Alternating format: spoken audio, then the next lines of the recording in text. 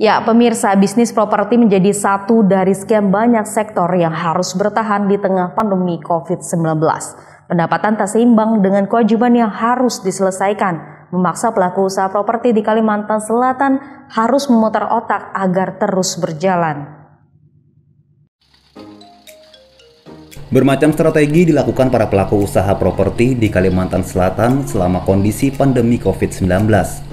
Walau ketatnya pembiayaan perbankan, geliat penjualan rumah masih dapat terus berjalan. Jurus jitu yang dilakukan selain memberikan diskon besar, juga melakukan terobosan dan inovasi melalui digital.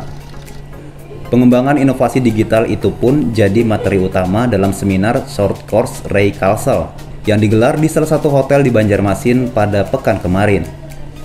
Para pengembang perumahan dikenalkan sebuah strategi meraih sukses bisnis properti di era digital. Mengingat saat ini di Kalimantan Selatan sendiri, perumahan subsidi masih jadi primadona kita itu untuk pemulihan ekonomi nasional itu properti sangat luar biasa. Khususnya Kalsel ini kita sudah mulai melihat lah. Jadi dengan adanya Shopkos ini juga membantu bagaimana strategi digital marketing untuk pemasaran. Jadi kita sudah bisa berinovasi. Kenapa saya bilang berinovasi? Yang kekal di dunia ini hanya adalah perubahan.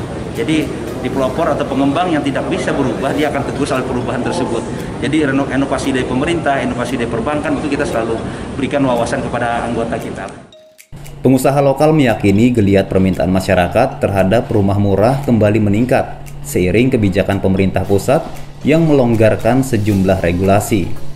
Terlebih hadirnya tabungan perumahan rakyat yang memberikan banyak kemudahan bagi konsumen perumahan. Dari Banjarmasin, Suhardian Ainus melaporkan.